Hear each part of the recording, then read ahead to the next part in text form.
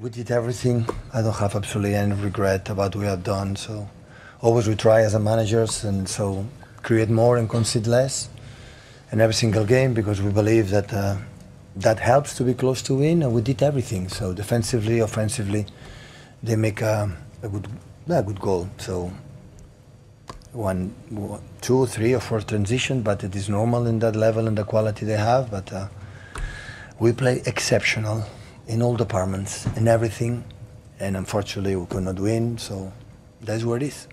They defend deeper than the previous seasons, and we create the chances to do it. But football is about to score goals, and they did it a little bit better in the penalty spot than us. So, but I had the duty to to say thank you for deep of my heart to these players for the way they played, the play against that team, and the way we played. But so this is about results, the business, and they will be in semifinals. We are not for little margins, but the performance and everything, the commitment for everything was exceptional.